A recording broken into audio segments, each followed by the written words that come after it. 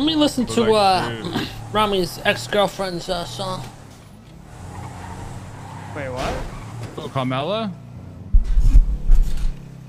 Oh. oh, that was, yeah, that was funny. I think April's waking up. Oh God. Here we go, guys. How do you know You April's, know April's waking, waking up. Uh, it's getting spammed in my head, man. Nice. Up? Nice. This guy This guy definitely. I mean, now, now we wonder why he has fucking Yeah. 400 watched hours. what are you talking about? Ah, this guy's How many got him on his fucking fucking right head, mind. I'm gonna cringe. okay. Here we go. Lucas sent me 40k, Eric sent me 50.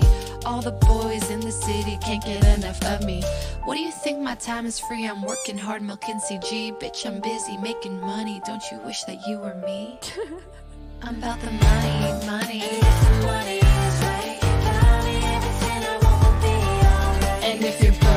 Busy. I'm about the money, money. And if you're broke, I'm busy. I'll treat you like a local if your card don't swipe. there we That was.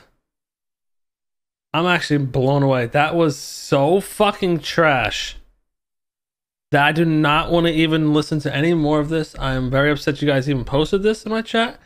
This was a fucking horrible experience, guys. I do never want to hear this song again. 150,000. Yeah, 222,000 I gotta pay. How much? Mine's- mine's quarter of a 222,000. Million. I was told- My shit used to be like 400,000. I was told six fucking weeks ago. you guys didn't expect that reaction, huh? No, that was dope. Honestly, that was dope. Except for the one line about Milk and CG. I don't know. We might have to.